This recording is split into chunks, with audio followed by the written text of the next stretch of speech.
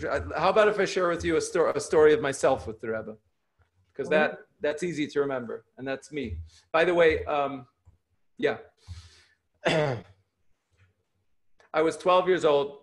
From when I was seven, my father used to bring me every Simchas Torah to the Rebbe for uh, for the special holiday, for the Hakafas. I've thank God very very vivid memories of the many times I was by the Rebbe for Simchas Torah, and I'm eternally grateful to my father for having done that because now I'm the father of seven year olds and former seven year olds, thank God. And I know what it means to schlep a kid on a plane and have to take care of him in 770 for a few days myself. Uh, the, anyway, my father did it every year from when I was seven years old. One year, um, I got separated from my father sometime in the middle of uh, Simchas Torah. I couldn't find them.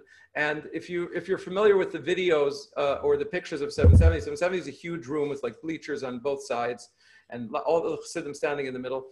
But on Shabbos Yom Tov, it would be like three quarters. The first quarter would be empty. Long story short, I was in that space waiting. The Rebbe was farbringing, but I didn't have a place. The Rebbe was speaking. And some of the New York kids, Rebbe Pinny, are you from New York?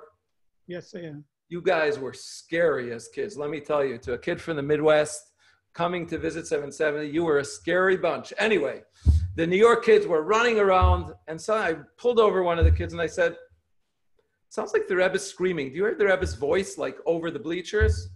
He's like, I don't know. But if you climb out, on, you climb through there, you'll come out right by the Rebbe. Anyway, I don't know how I had the guts. I climbed through under this long table, and I came out nowhere else than six inches away from the Rebbe on his right side on the floor. Okay, and that was a place that children were allowed. There were no children then, maybe because it was a unique time. And the Rebbe started speaking about the last verse of the Torah, which speaks about Moshe Rabbeinu, Moses. It speaks about all the miracles he did for the Jewish people. And he did it all before the eyes of the Jewish people. And Rashi, the commentary, says, what does that refer to? That his heart soared and he smashed the tablets, he smashed the luchos. And the Rebbe was asking a list of questions. Is that the greatest thing Moshe Rabbeinu did? And did he have to do it before the eyes of the Jewish people? It's the last thing of the Torah. Whole list of questions. And I'm, I'm doing the short version here. Anyway, the Rebbe went on to explain. And I have to tell you, as a child, I did not typically, I was not able to concentrate. I would not typically be able to understand. But anybody could have understood this. The Rebbe spoke with such passion. He explained, why did Moses break the tablets when he came down from Mount Sinai?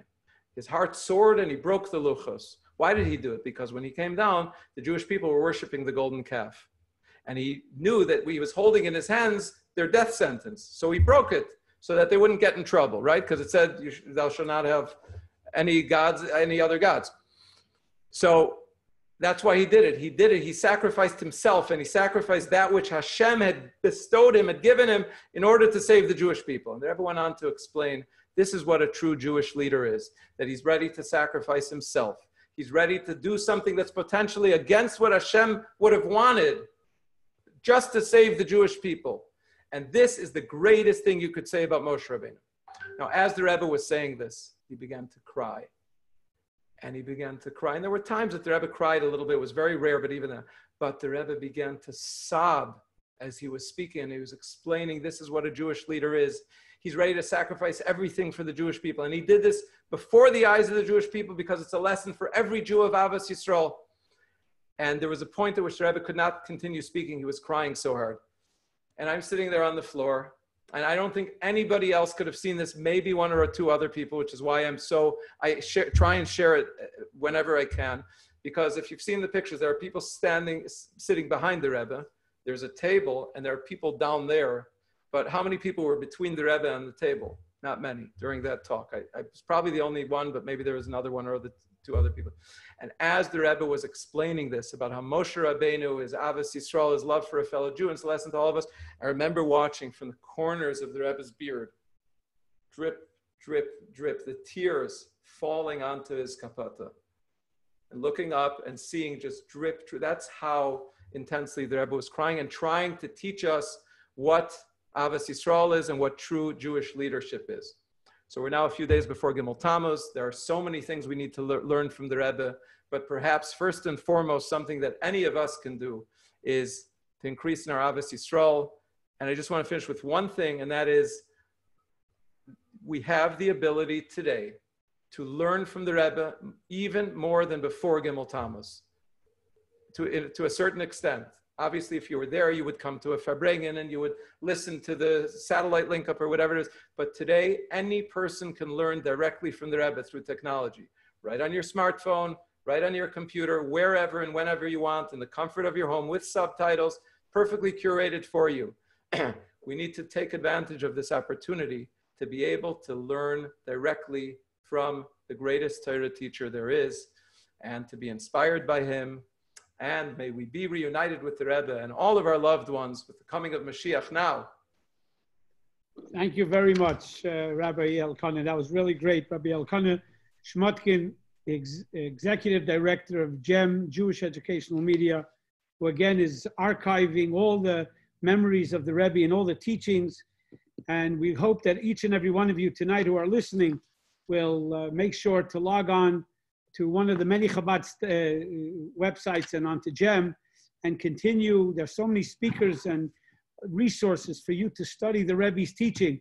I want to welcome each and every one of you who joined from all over, from uh, Rabbi Yolish Gans, Rabbi uh, Ben Zion Singer of the Chabad of the Lauderdale by the Sea. I saw Rabbi Natan Grumblatt from Argentina. Rabbi Shimon and from Chabad of uh, Century Village, uh, um, Young Israel Century Village, Chabad. Shui Biston, Rabbi Shui Biston, I saw on Facebook Live in from Parkland. Rabbi Yankee Denberg, who's always my helper from Chabad Southwest Coral Springs, and Rabbi Yossi Reitzik from Chabad of West Boynton, Rabbi Koppel Silverberg from Chabad of Tamarac, and Rabbi Schmerling from Chabad of Venice.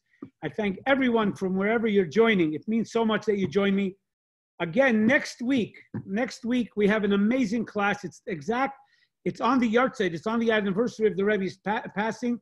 So we have two great lecturers. We have rabbi leibel shapiro who's the president. He's the head of the uh, of the rabbinical council of miami.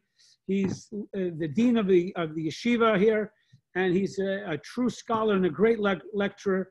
And rabbi yossi lu a dear colleague and friend of mine from peachtree city uh, georgia so we have a wonderful program next week, the Rebbe's legacy, the Rebbe's leadership, the Rebbe's influence, and I hope you will you'll join me then. Rabbi uh, Elkanah, I, I can't thank you enough. It was really informative, and, and, and we see from you how truly the Rebbe's words from, you know, from early on, the Rebbe had the vision of, of embracing the technology, and thanks to you and, and all of your innovation, you're taking the Rebbe's words and teachings and spreading it out to the, as it says, when the Baal Shem Tov asked the Mashiach, Mashiach, when are you going to come? He says, when the, your teachings are, are spread forth. And we see, thanks to you, sure enough, the teachings of the Rebbe and about Mashiach are truly, you're able to access it all across the globe. So there's no reason why Mashiach doesn't come this very moment and hopefully this Gimel Tammuz, we will be reunited with the Rebbe, with the coming of Mashiach, and the rebuilding of the third and final Holy Temple. Thank you again, Elkanah. Thank you, everybody else, for joining.